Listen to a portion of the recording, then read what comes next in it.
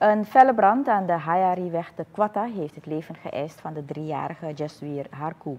Bij de aankomst van de brandweer stond de woning al in lichterlaaien. Volgens een verklaring van de moeder kwam ze uit bad toen ze de brand ontdekte. Ze rende in paniek naar buiten en is vermoedelijk vergeten dat Jaswir zich nog in de woning bevond. De politie die voor de brandweer op het adres arriveerde, hoorde nog het gegil van het kind, maar kon vanwege het vuur dat zich had verspreid de woning niet meer binnen. Bij aankomst van de brandweer was Jaswir reeds omgekomen. De brandweerlieden stuiten op het verkoold lijkje. De oorzaak van de brand is nog niet bekend.